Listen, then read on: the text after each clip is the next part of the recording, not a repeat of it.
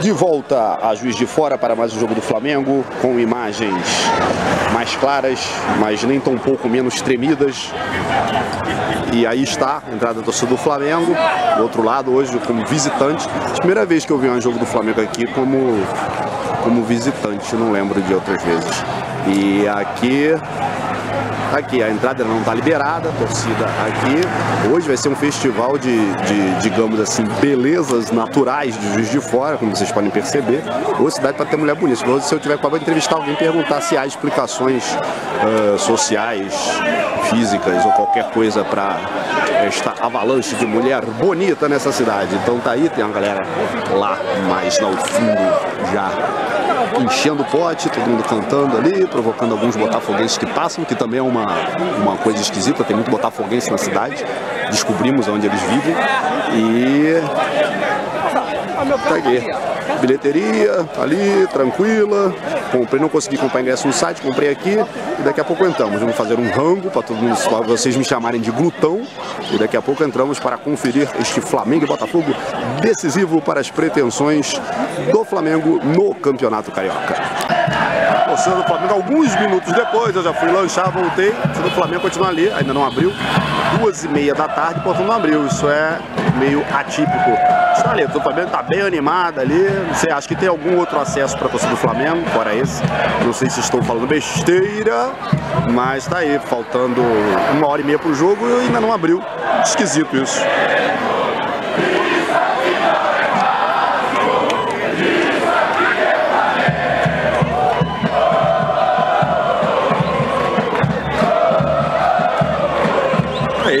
Aí a torcida do Flamengo ainda do lado de fora do estádio municipal de Juiz de Fora. Agora sim, já dentro do estádio, esta entrada bucólica, campestre, florestal do estádio Juiz de Fora. Me lembra até muito a, a geografia do local, o estádio do Vitória, né? Parece um, uma, uma, sei lá como eu diria, uma, uma bacia com o estádio dentro. Assim, né? Em volta do estádio é tudo bem mais alto do que, a, do que o, o campo em si. Aqui, daquele filme O Regresso, ó, que fechar com imagens absolutamente bem feitas. Ó, vai ganhar Oscar. Essa aqui vai ganhar, vocês podem ter certeza. Aquele momento circense aqui no estádio de Fora, em que um paraquedista está descendo no gramado, jogou alguns, alguns enfeites temáticos, preto vermelho, branco, e segundo as vozes maliciosas da arquibancada, ele acaba de cair, igual o Botafogo. E agora, pô, dei mole, deu uma tremida aí, né? Tô tentando abolir as tremidas exageradas até o Brasileirão, mas hoje não foi possível. Então tá aí, hoje não, nessa tomada não foi possível. Um circo armado, um paraquedista descendo, sabe-se lá pra quê, no estádio de Fora. Pra ele deve ter sido emocionante. Pra gente estar tá assistindo, não fez a menor diferença.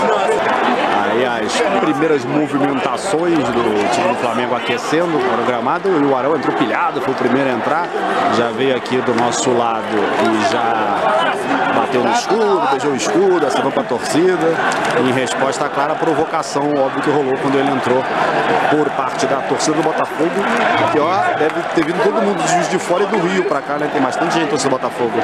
A nossa tá maior, obviamente, porque não tinha como deixar de ser, mas até que tá grande a torcida dos caras.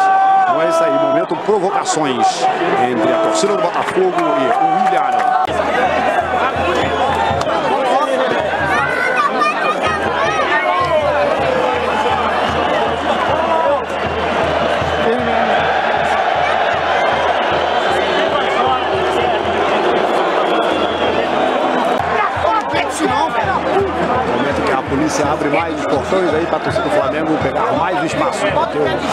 só o espaço reservado não é suficiente.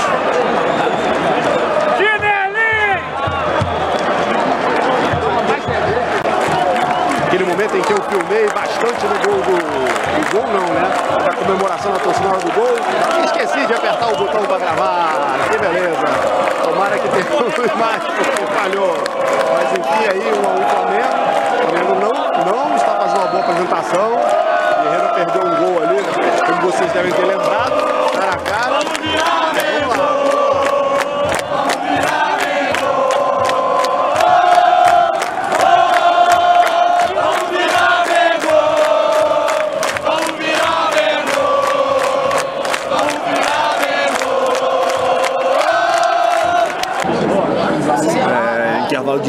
Perdão não poupar vocês da minha carranca, mas é bom acostumando. Tô tentando fazer mais frequentemente os vídeos internos. Aí um a um, futebol meio modorrento do Flamengo, mas pelo menos a bola entrou. Era pra estar tá até dois, né? Porque aquele golzinho aí que o Guerreiro perdeu, como bem disse meu amigo Júlio aqui na arquibancada, é aquele pra parar de reclamar que a bola não chega, né? Porque a bola chegou do jeito que foi e a bola acabou não indo parar no lugar devido. Vamos ver aí. Curiosidade aqui, as torcidas organizadas do Flamengo demorando muito para chegar. Tem algumas delas entrando aqui agora no intervalo. É...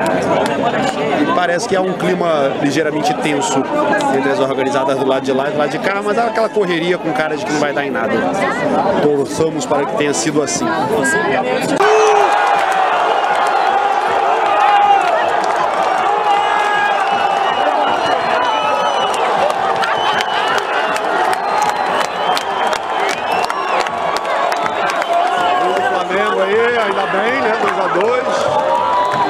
Nada agradável. Vamos lá, vamos lá. Quem sabe? Esse empate aí com essas duas se é que vai ser empate com essas duas rodadas aí que faltam. Então, Boa Vista do Bangu é bem possível da gente se classificar. Não ter essa lastimável campanha de não conseguir passar nem para as semifinais do Carioqueta. Apesar de que o Márcio Araújo provavelmente iria gostar muito disso para poder ter bastante tempo para descansar.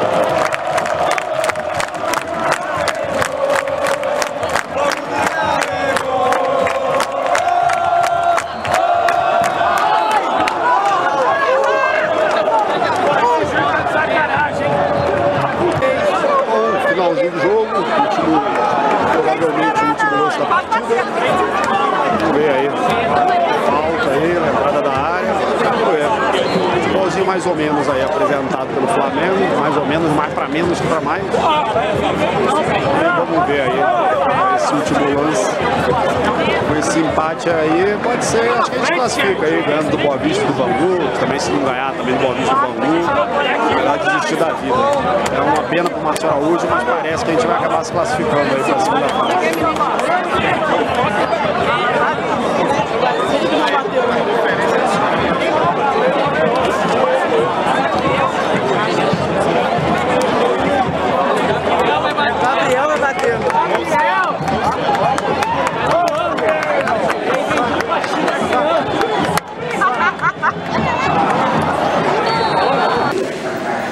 Gravações, empate 2 a 2 A gente deve se classificar.